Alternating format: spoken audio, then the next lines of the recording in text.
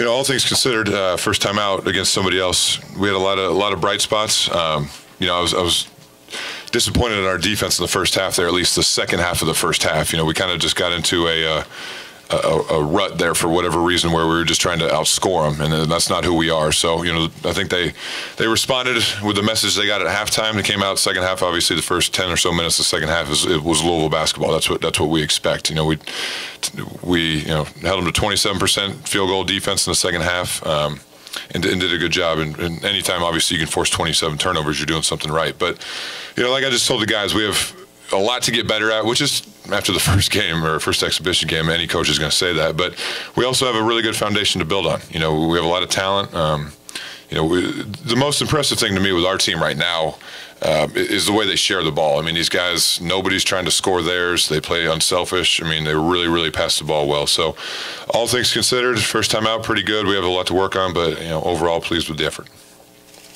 Rebounding was, feel like the second half. It was. It was just our mindset. You know, we we just were you know, I think we had some easy, easy success in the first half. They're scoring against them, and so now all of a sudden we're trying to leak out a little bit and just get out on the break and, and try to do all that instead of get a stop, rebound the ball. I mean, there for a minute, for a couple minutes in the first half, it was either they scored or we turned them over. It was one of the two, and, and that's why their field goal percentage was so high. But um, you know, we responded. I was got on our older guys a little bit at halftime, which they knew it was coming. Said this is unacceptable. You know, this is not the way we play, and, and they came out and responded in the second half, which was good to see.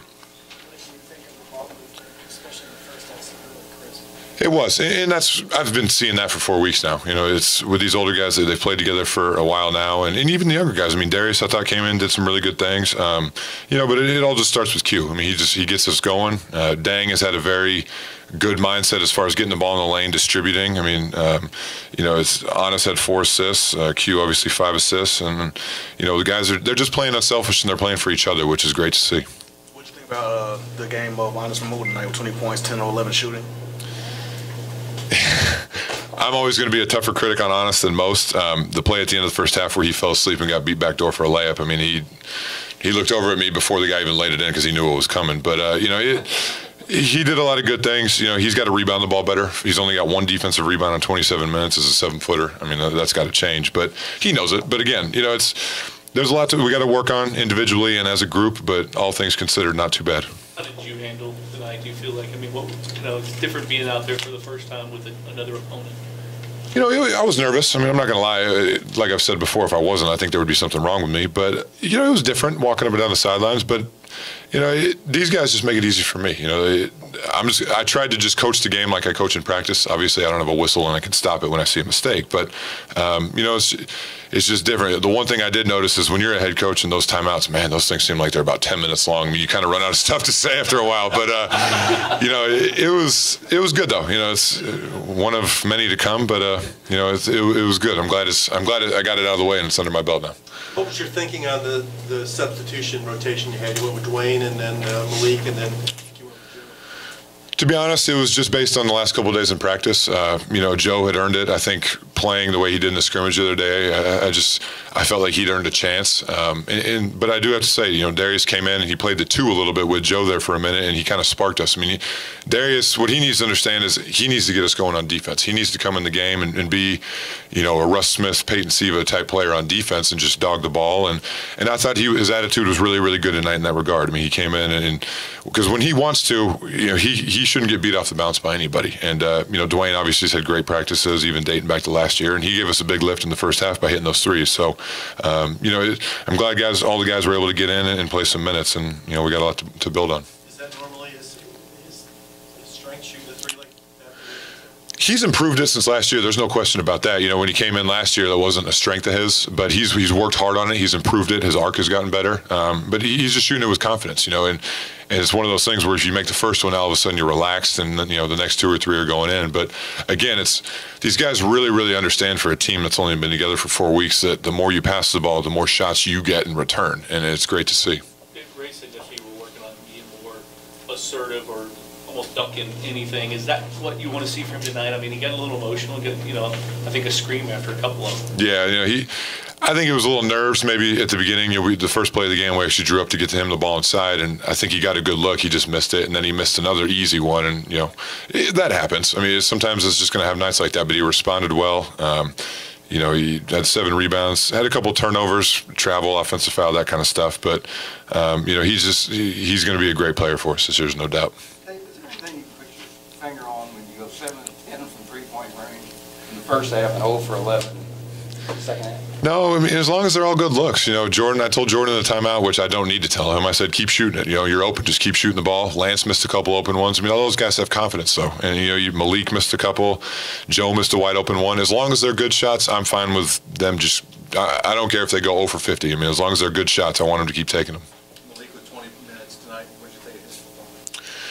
You know, he did some good things. Where he and Lance both have to get better is just learning our defense. You know, they have a it's a high school habit because you don't want to get in foul trouble. Is when somebody drives at you, you kind of slide to the side and get out of the way, and it's just something we got to work on. You know, especially with the way they've changed the rule last year, where if you're a big guy and somebody drives into you, if you leave your feet and you keep your arms vertical, you're and they, you're entitled to that area and that cylinder as well. So it's just something we got to work on. But you know, the effort's always there um, with all those guys. You know, just just got to get better each each day, one day at a time. Spot you took in the court, uh, just taking a knee right there in front of the bench, is that what you think you're going to stay? That where you're going to be? Well, I, I, you know, I try to get down in like a catcher position, catcher's position a couple of times. I just can't do that. My knees hurting too bad. So I just, you know, I told I told Vinny to make sure there was a towel there for me to sit on. But um, you know, it's yeah, it's all just part of feeling this whole thing out, you know. And it's just it's just easier for me to get down on one knee. But the problem is, is sometimes I get too close to the sideline, and here comes the ref, and I don't want to trip him. But uh, no, it's again, it's it's going to be a little bit of a, a feel out process here for me as well. How much, is- how big is it to have this take now and in between now and Bellarmine? How much do you expect them to improve? Because you've got, to show them something against somebody else. No question. You know, I- there's going to be a lot. To, there's going to be a lot of good stuff in this tape, but there's going to be a, a lot to learn from. Uh, but the good news is, is they're willing to learn. You know, yesterday in practice, I challenged them a little bit defensively, and and they responded in practice. And I thought at least for the first 10, 12 minutes of the, of the first half tonight, we were pretty good. We just had a lull there where we let them get hot, but they responded again at halftime. And you know, the good thing about playing this team and playing Bellarmine, which is why we usually do it, is they're two completely different styles. You know, this team was a lot off the bounce, penetration, isolation, and Bellarmine, as we all know, is one of the best passing and, and shooting teams in Division Two, if not the best. So um, it's two completely different styles, and we got a lot to work on. But um, you know, we just got to take the next six days and get better. David, is there a big e-towel sponsorship uh, possibility? No, I just you know I just told him, look, have one out there. Um, but then I found myself way up by even Bob and Paul on the radio. So I mean, I'm sure people were hearing me on the radio because I was knelt down all the way up there. But um, you know, it's just pick and choose my spots. You know, I'm not going to be a guy who's up on the sideline walking up and down the entire time. But uh, you know, just just gotta kind of feel it out as I go. Who was the most vocal of your assistants tonight? You know, Greg's very vocal in game from a, a, coaching standpoint because that's just his personality, and that's why I love him. That's why he's going to be great. You know, Trent was he'll say things when he needs to, but he's also in my ear. I mean, he's he's he's obviously helping coach the team, but he's helping coach me a little bit too, and that's why I hired him. I mean, he's got 17 years of head coaching experience, so you know it's invaluable. But you know, all things considered, from players aside, you know, even the coaching standpoint, um, you know, even in timeouts, it's funny. Yesterday, at the end of practice, we actually practiced the timeout thing where I had Coach G sit on the end of the bench, run out, and one of the players was like, "Do we stand up?" On the bench when the horn rings and I go, no. I said, unless you want to get tackled by Coach G with three chairs, you better stay seated. So. Anything else? Thank you guys.